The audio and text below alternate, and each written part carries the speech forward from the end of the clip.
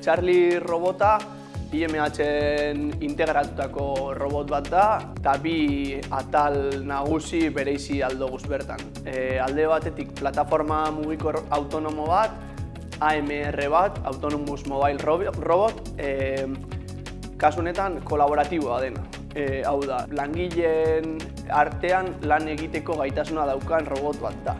Eta bestalde batetik robot manipuladore bat integratzen da bertan, bai? Kasunetan, kuka robot manipuladore bat egiten duena dela, ba hori, ba, piezak mugidu alde batetik bestera, ez? Orduan, e, ba, IMH-en induguna da, bi horren, e, bi robot horren integrazio bat egin, eta e, goi mailako e, interface baten bitartez, bi roboten kontrola hartu aldugu. Zertarako, ba, piezen eta erramienten intralogistika automatizatu alizateko, hau da, piezak eta herramientak makinan sartu eta atara automatikoki egin alizateko.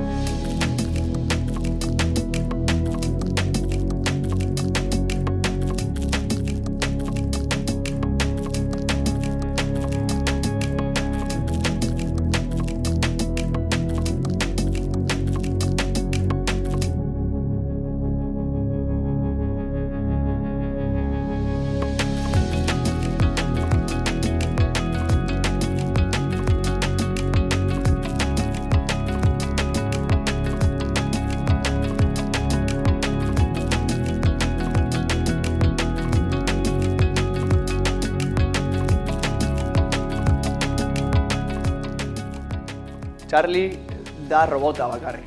Guk erabiltzen duguna da Charlie robot hori Zoslan fabrikazio malgu bat lortu alizateko. Horretarako Smart PM-ek garatutako MIC softwarea eh, erabiltzen dugu. Zeo zelan orkestra txaile bezala. Hau da, orkestra zuzendari bat izango alitz bezala lan egiten du, esanez makina robotari erodana dalakoari zer egin behar duen momentu bakoitzen. Orduan, e, lortzen duguna da, softwareren bitartez gure fabrikazio aginduak programatu eta e, softwareak egiten duena da ba, fabrikazio agindu hori kudeatu eta makina bakotxari, robot bakotxari momentu oro zer egin behar duen e, esaten dira.